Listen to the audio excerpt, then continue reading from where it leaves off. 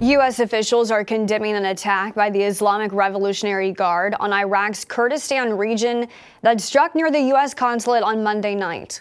The Iranian armed forces took responsibility, saying it launched ballistic missiles to destroy an Israeli spy site. Officials said four people were killed in the attack and six others were wounded. In a statement, a U.S. State Department official said the U.S. strongly condemns Iran's missile strikes in Iraq, which undermine Iraq's stability. Iran's forces also claim to hit ISIS targets in Syria.